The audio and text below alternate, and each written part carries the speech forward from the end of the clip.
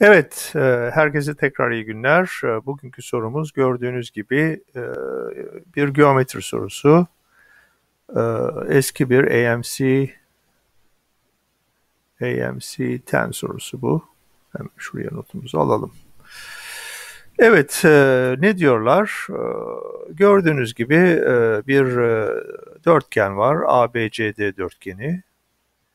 E, ve bu dörtgenin e, değişik uzunluklarını vermişler. Diyorlar ki işte AB 5, BC 17, CD 5, DA 9 ve BD uzunluğu da bir tam sayıdır. Sordukları soru bu BD'nin uzunluğu nedir? Bunu soruyorlar. E, isterseniz burada videoyu durdurup kendiniz çalışma soru üzerinde çalışabilirsiniz. Yoksa başlayalım.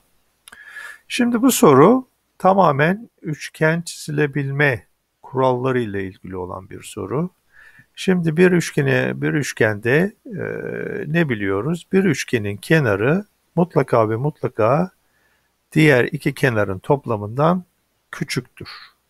Dolayısıyla şu A, D, B üçgenine bakarsanız BD'nin uzunluğu mutlaka ve mutlaka AD'nin uzunluğu ve AB'nin uzunluğunun toplamından küçüktür. Yerine koyarsak e, değerleri AD nedir burada? 9. AB nedir? 5. Dolayısıyla BD uzunluğu 14'ten küçük olmak zorundadır. Şimdi şu üçgene bakalım. D, C, B üçgenine bakalım. Burada da aynı şekilde. BC uzunluğu mutlaka ve mutlaka CD ve DB uzunluğunun toplamından küçük olmak durumundadır. Dolayısıyla CD artı BD değerleri yerine koyarsak 17 5 artı BD.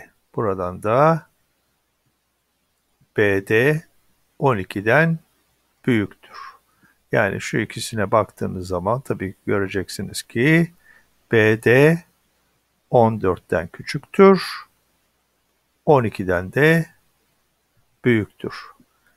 12'den büyük, 14'ten küçük tam sayı ne vardır? 13 vardır tabii ki. Dolayısıyla doğru cevap C şıkkı. Evet, bugünlük de bu kadar. İyi çalışmalar diliyorum. Hoşçakalın.